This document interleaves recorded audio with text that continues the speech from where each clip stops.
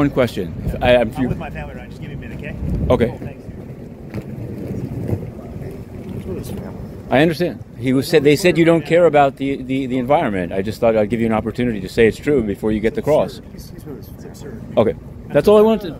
He's To, with his family. I understand, but then you know this is how it's done. I'm telling you, I covered the. mil- Taking photos is one thing. But Right. taking Trying to ask a question? Taking photos is one thing. I don't want you're, to- you're taking videos of him talking to his family. I'm, I, it happens. This is it's a it's a public street, sir, and it happens all the time here.